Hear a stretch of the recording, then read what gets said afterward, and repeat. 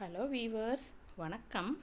இப்போங்க ஒரு cheese ball செய்கிறதுக்காக உருளைக்கிழங்கு எடுத்து வேக வச்சு மசித்து அதோட உப்பு மஞ்சத்தூள் மிளகாய்த்தூள் சாட் மசாலா ஒரு சிட்டிகை எல்லாம் சேர்த்து பிசைஞ்சு வச்சுருக்கேன்.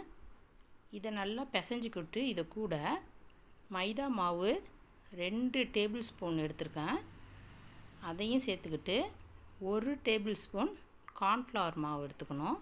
நீங்கள் எந்த அளவு எடுத்துக்கிட்டாலும் அது ஒரு பங்குனா இது அதில் ஆஃபு சேர்த்து பிசைஞ்சிக்க வேண்டியது தான் இப்போங்க இந்த ரெண்டு மாவும் இந்த உருளைக்கிழங்கோட சேர்கிற மாதிரி நல்லா பிசைஞ்சிங்க. சப்பாத்தி மாவுக்கு பிசைகிற மாதிரி நல்லா சேர்த்து பிசைஞ்சு எடுத்துங்க.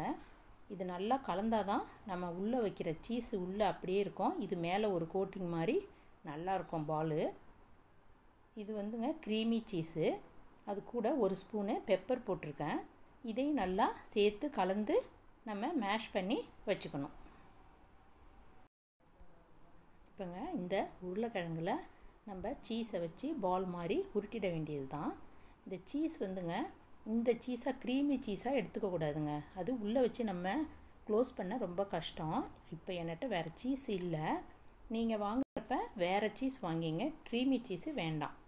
இது நம்ம உள்ளே வச்சு மாவை க்ளோஸ் பண்ணுறதுக்கு அது எங்கே பார்த்தாலும் ஸ்ப்ரெட் ஆகிக்கிட்டே இருக்குது இதை வச்சு நம்ம பாலாக அழகாக உருட்டிட வேண்டியது தான் இப்போங்க நம்ம ஒரு நாலஞ்சு பால் இது மாதிரி செஞ்சு வச்சுக்கிட்டு எண்ணெயில் பொறிச்சு எடுத்துக்கலாம். இதங்க கொஞ்சம் பெருசாக நம்ம தட்டிக்கிட்டு இப்போ அந்த சீஸை வச்சுப்போம். சின்னதாக குழி பண்ணிக்கிட்டோன்னா அது மூடுறதுக்கு கஷ்டமாக இருக்குது க்ரீமியாக இருக்கிற வசி.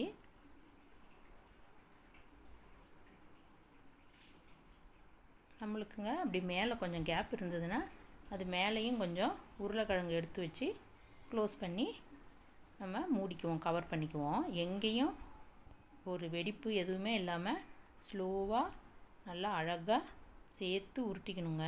நம்ம அந்த கேப் இருந்ததுன்னா அது எண்ணெயில் ஸ்ப்ரெட் ஆகிடும் அப்புறம் ஆயிலும் வீணாக போயிடும். திரும்ப வேறு ஆயில் நம்ம மாற்றணும் அதனால் இந்த பால் செய்கிறப்ப மட்டும் நம்ம ரொம்ப பார்த்து கவனமாக செய்யணுங்க. அழுத்தி உருட்டாமல் லைட்டாக உருட்டினா கரெக்டாக இருக்கும். இப்போங்க இந்த சீஸ் வச்ச பாலை வந்து நேரடியாக எண்ணெயில் போடாமல் கார்ன்ஃப்ளவர் ஒரு ஸ்பூனு போட்டு தண்ணி ஊற்றி கரைச்சி வச்சுருக்கேன்.